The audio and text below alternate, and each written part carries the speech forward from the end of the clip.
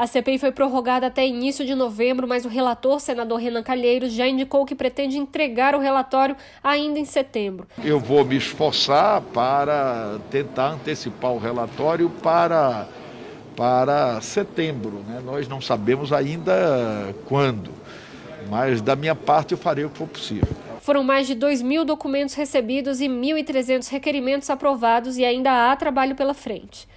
Um dos pontos que ainda deve ser tratado na CPI é a garantia contratual apresentada pela Precisa na venda da Covaxin ao Ministério da Saúde, emitida pelo Fibbank, uma companhia de garantias fidejussórias, que é um tipo de calção pessoal. O Fibbank se autodenomina como uma companhia que viabiliza garantias aos clientes por meio da emissão de cartas de fiança. Já a Lei 8666 prevê que as garantias para contratação com o setor público devem ser calção em dinheiro, títulos da dívida pública, seguro-garantia ou fiança bancária. O senador Randolfo Rodrigues apresentou o um requerimento para escutar Roberto Pereira Ramos Júnior, presidente do Fibbank. Os senadores acreditam que a relação entre Fibbank, Precisa Medicamentos e Ministério da Saúde é anterior à negociação da Covaxin. Devemos ouvir também o executivo do Fibbank, porque é o que tudo consta.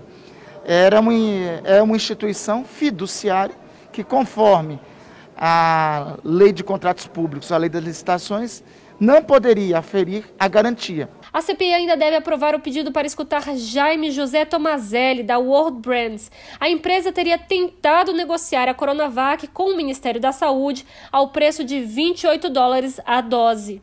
Também está na pauta da CPI um requerimento que convoca o lobista Marconi Faria. Entre as informações levantadas pela comissão está uma troca de mensagens em que Marconi teria tentado interferir na venda de testes de Covid-19 para o Ministério da Saúde. A CGU já apontou que há evidências da interferência no chamamento público para a compra de 12 milhões de testes com a ajuda de Roberto Dias para beneficiar a Precisa Medicamentos. Além desse requerimento de Marconi, também continua na pauta o pedido para escutar o ministro Walter Braga Neto. Eu também defendo que o Braga Neto seja ouvido. No entanto, nós não temos ainda, no grupo majoritário, votos para aprovar a sua convocação.